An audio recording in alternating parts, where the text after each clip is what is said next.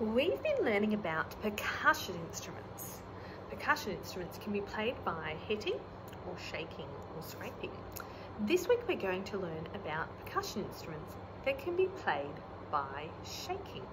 So I've got some instruments to show you. First one is this, the maraca. Maraca. So this is a wooden maraca. I've also got a plastic maraca also can be played by shaking.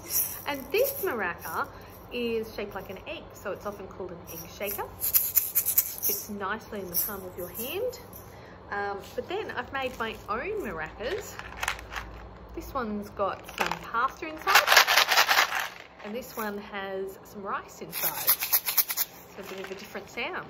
So that's some fun instruments you can make at home. I've also got bells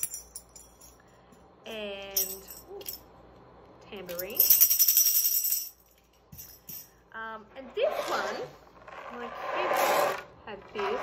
It looks a bit like a drum, but it's filled with instrument things inside.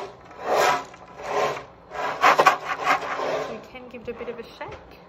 Hmm. wonder if you can make an instrument that you can play by shaking. Give it a go.